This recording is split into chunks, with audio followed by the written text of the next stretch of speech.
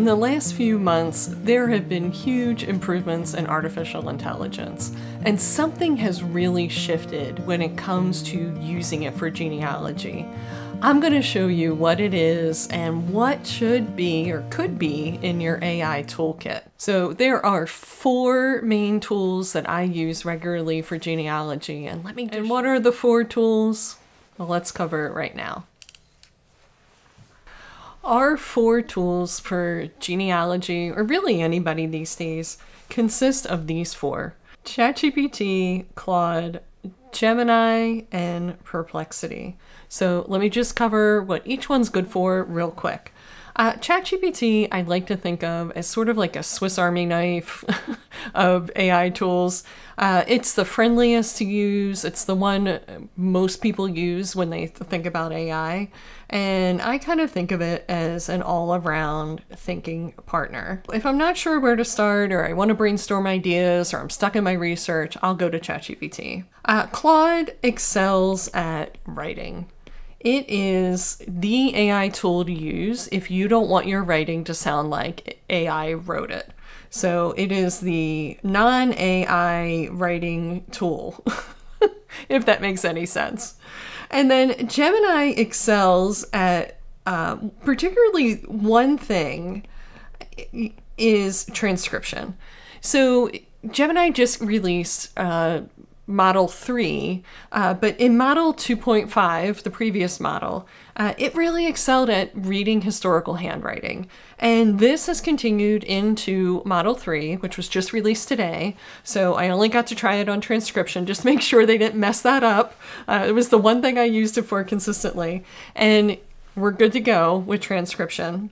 So that still works well, and I'll show you that in a second. Now, perplexity is a little bit different. So these three are all what is called large language models, or LLMs. That's what these three are, okay? So they're all the same kind of AI. Perplexity is not one of those. What Perplexity is, is a search engine. And what that means is it acts like Google, uh, but it does it in a little bit different way in that it uses AI, an LLM, to summarize the results. So instead of getting a list of links, you get a summary of the research with links to what the web pages. So it's a it, it's a little odd um, when people first encounter it because they think it's uh, an LLM completely, uh, but it's really an LLM wrapped around a search engine. So if you try to use Perplexity, uh, let's say for writing, it's going to be a little bit weird because it's programmed to be a search engine.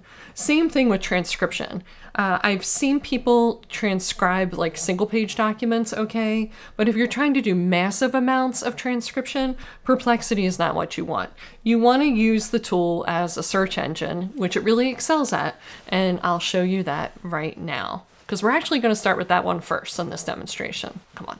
So here we are with Perplexity, and I want, whoop, I just want to show you what it, it does for research. Um, so a lot of us get stuck in our research and want to know where are the records. And we use mostly the Family Search Wiki for that. Maybe we do a Google search, but Perplexity really excels at this. So I just answered a simple question. What probate records is, exist now for Clearfield County? No, this is Pennsylvania, but luckily there's only one Clearfield County. You should always specify the state. Don't do what I just did.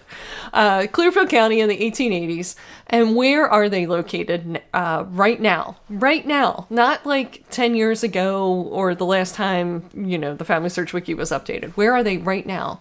And it goes through this entire summary, and basically, the the too long didn't read the TLDR is that they're they're at the register and recorder's office. Now, I can verify this information uh, completely. It does mention Family Search on here, and that there are some microfilms. You, uh, if you read this closely, you'll note it doesn't say Ancestry because they're not on Ancestry. Um, and it's true. What Family Search has is the index uh, for these records. But the actual files with all the papers in them, they are at the Register of Wills office in Clearfield.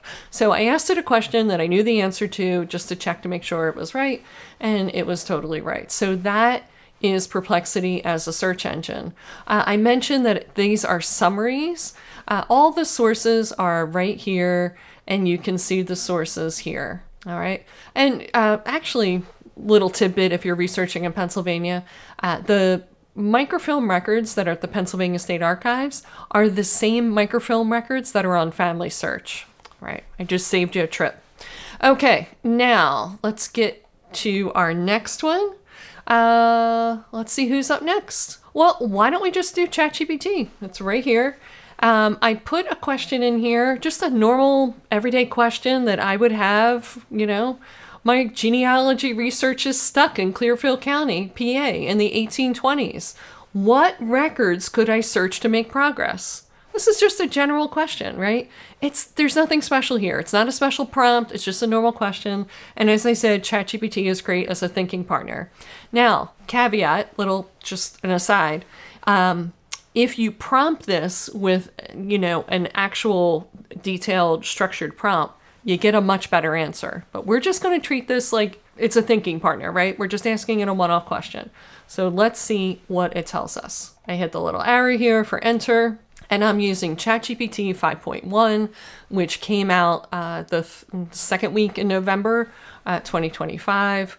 And it's actually taking longer to think than I expected at this point. All right. So ChatGPT 5.1 has a couple modes here. It's got auto, where it decides how long to think. It's got instant, which will give us fast answers. And it's got thinking for longer answers. Now, if I'm not sure what level of thinking I want, if I want instant or um, thinking, the thinking mode of thinking, a little strange, uh, I just do auto. And if I don't like the answer, then I just switch it to thinking uh, here in the, the bottom in the chat. I can switch it back. All right, so let's see what it said for our answer. And ChatGPT knows genealogy because it immediately says, here's how to break a Clearfield County brick wall in the 1820s. The decade most research- researchers think is a dead zone. It isn't. I feel like it knows me. Does it know me? I feel like it knows me. anyway, so it's it's it, it breaks it down for us. Understand the jurisdiction shift. It used to be two other counties. This is common in Pennsylvania at this time period. The state's undergoing a lot of growth um, up until the 1860s, and county boundaries are changing. Priority records, tax assessment lists, okay, land warrant patent survey records, quarter uh, session court records. So these are uh, crimes, but it does say it was for the local government. And then early church records, uh, War of 1812 soldiers, orphan court. So you can see how this is just going through and it acts as a checklist for me of record types that I could uh, obtain. And if ChatGPT didn't know where to get them, I can hop over to Perplexity to get that answer. So let's do our next tool. Our next tool up is Gemini. Now, this is the brand new Gemini 3.0, just came out today. I know, it's crazy. I haven't put it through all its paces, but it is phenomenal. So, what they did with Gemini is they did something similar uh, that they did with ChatGPT, and that the paid version has two modes. So, you get fast and thinking. So, you can see we're kind of getting standardized here in terms of AI but fast and thinking. And I want to show you what happened when I did a transcription in fast mode versus thinking mode. So this is uh, a mistake. you always love to see mistakes, as in, don't do this at home. So I gave it a PDF of a deed. Uh, and I just told it to transcribe this deed word for word. If it's unreadable, use illegible, which I spelled incorrectly here, so don't do that. Uh, and then include inside the bracket in, uh, your best guess of what the word could be. Leave abbreviations, punctuation, and odd spellings exactly as they are. Because uh, when we do a transcription, we want it to look exactly like the original document, just typed right? We're not, this isn't a translation where we're changing languages. This is just called transcription. This is transcription. So, um, the first mistake I made is I gave it a PDF. You should always give it a JPEG file or a PNG file. But I gave it a PDF just to really test it. And what happened was in this test, is this first transcription is horrible.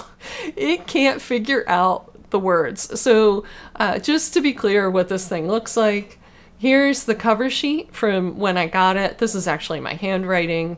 And then this is what the actual document looks like.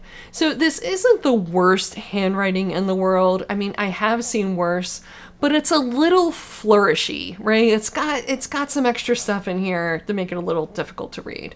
Um, so it's it's not easy for uh, for uh, AI to do that.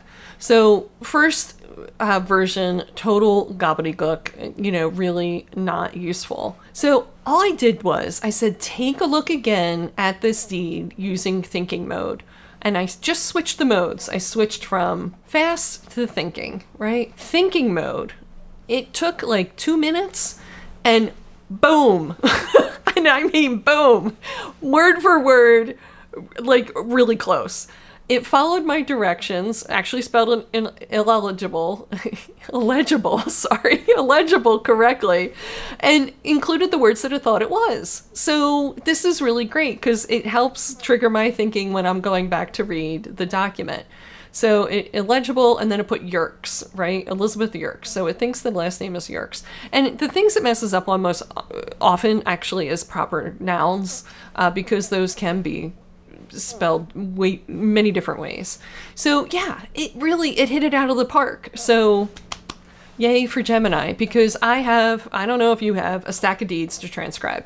So I'm looking forward to that and finally making a table of them and making sense. All right, next up, our next tool is Claude. As I said, Claude is a writer. It loves to write. It's great at language.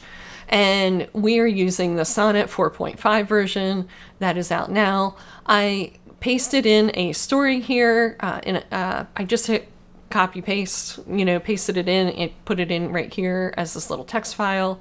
And I'm just telling it to take this story draft and turn it into three new variations. So the great part about AI is you don't have to ask for one. You can ask for many. If you wanted 10, you could ask for 10. And I'm telling it to keep the same narrative voice. So that means the point of view of the writer. I don't want it to switch it into some academic sounding third person distant voice. I don't want it to switch it into first person and, and with the word I in it that I'm telling it. And then it always helps if you tell the LLM, the AI, what who the audience is. So I did that. I said the audience is for my adult children. So let's see what Claude does. It's doing its little thinking here, the little flashing asterisks. and Claude has honestly the funniest little uh, things. You know, gathering gathering my thoughts here, says Claude. So here is uh, variation one being typed out right before me on the screen, and it kind of speeds up as it goes along. And when these three variations are done, I can then decide which one I like the best uh, ask for combinations of them, and yeah, uh, I kind of like the writing. So Nancy Bloom Curry lived her entire life on 26 acres in Pike Township, Clearfield County. That's a very direct, plain sentence and sounds very much like me. I don't write with a lot of emotional flourish. And then talks about, you know, the land was given to her for the price of a dollar. And in a world where they counted women's value in acres and livestock. And it kind of was, you know, 1860s. Uh, and then it goes on with that one. uh, the second variation it gave the dramatic title The Weight of 900, $960.78. So this is about a court case which her husband lost and he owed that amount of money. So um, that is why Nancy ended up losing this land uh, he died first, and then uh, she actually lost it before she died. And then we have a third variation, what the probate record doesn't say. And it starts, I thought this was kind of an, this is an interesting opening. The probate inventory lists the following one stove, chairs, uh, beds, an organ, spectacles. Total value $36.95. Uh, two story frame dwelling house. Uh, sold for $136 and the debt the debts were her coffin and her doctor bill. And she, in fact, it uh, doesn't have a headstone because they didn't have enough money to pay for that either. Uh, so, yeah, anyway, uh, that is all right there. And the great part about Claude, uh, unlike ChatGPT, which is constantly trying to get in a conversation with you, Claude just does its work and ends. So it writes, it's done, and then if you want to generate a new version or alter it. You just have to tell it to in this prompt below. So that is my AI toolkit. Uh, it is a great time to get started with AI if you haven't started already. And my suggestion to you would be to start with one of these things. If you have a piece of writing, try Claude. Get it to revise it for you, give you some different variations. If you're stuck in your research, go to ChatGPT for some help and see what it can do. Uh, you could figure out where to find those records that you're looking for using Perplexity. Uh, it's not going to give you the records. I wish it would, but it'll tell you where to look for them so you're not just frustrated, uh, you know, with what to do. And then if you have some documents to transcribe, go ahead and give them to Gemini 3.0 and see what it does.